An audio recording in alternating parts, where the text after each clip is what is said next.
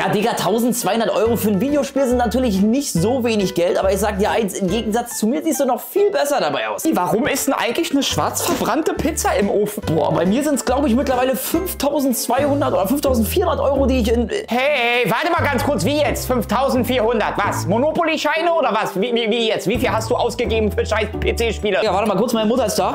Warte, was? Was ist los?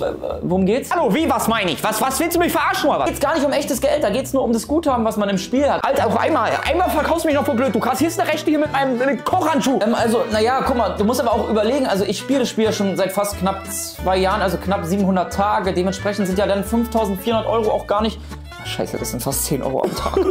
ich gehe für 1800 Euro netto im Monat arbeiten und du gibst 5400 Euro für PC-Spiele aus. Du stellst dich jetzt dahin, ja? Du stellst dich hin und für jeden Euro, den du investiert hast, kriegst du einen rechten Leberhaken. Ähm, Jens, ruf bitte ganz schnell 110 und Feuerwehr, ja?